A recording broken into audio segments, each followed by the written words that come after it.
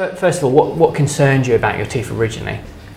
Well, they were so crooked, Right, and I very rarely used to open my mouth to smile. right, And but why I came to you was I'd had a couple of bad experiences, right, um, and thought I was just at a loss one night and thought I really need some advice about my teeth.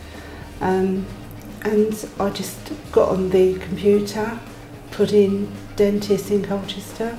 You came up, right, and I, with others, I emailed about four, right, and you answered immediately. right, okay, okay. And um, and I, I said, you know, I'm worried about, you know, my bite and you know, how crooked they are and how I can't get in there to clean them. And, Yeah, and um, you said, come along Thursday, right.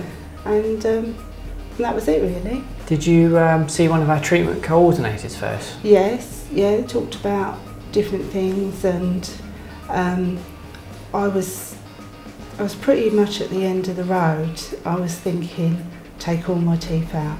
Right, I, really? I was thinking, I'll just have false teeth. Um, so initially you had um, a, a very sort of strangely placed crown on a tooth up there, Mm. and as you say, the rest of them all, all quite sort of Yeah, crowded. Very, um, very crowded, and I, don't, I had asked other dentists, yes, and the minute they'd mentioned braces, I just had visions of when I was 13. right, and a okay, mouthful of metal and right, and um, but you know once you you said about um, the options here I thought well let's have a go right. best money I ever spent Oh, really? absolutely So you had a combination of, of braces, yes um, and we went for the six-month smile system. Yeah, Okay. yeah. yeah Um, and then straight after that, we, we did the the CEREC crown, which was Yeah. the, the one visit crown. So it was Yeah. all, all done on the same appointment. yeah Um, amazing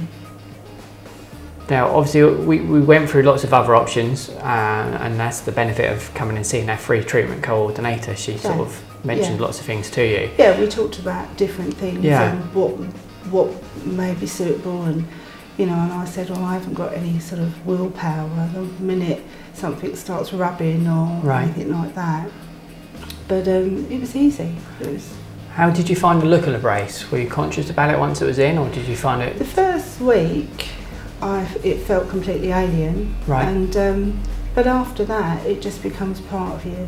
yes. And once you see the teeth moving into position, yes. you just you know you can't stop looking at your teeth. And you came in every month for an appointment where we, we changed the, the wire, which which is tooth coloured, so it sort of blends in quite well. Yeah, Um, and the whole process took six to eight months, didn't it? yeah, yeah. Um, I think it was a bit.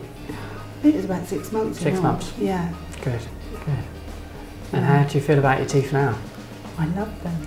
Still can't stop looking at them. Good. And um, we was at the zoo the other day, and I said to John, "Take a take a picture of me and Will." And it's the first photo I've had smiling with my mouth open. Oh, really? And um, so I'm going to put that up on the mantle, I think, Oh, brilliant, because uh, I'm just so pleased.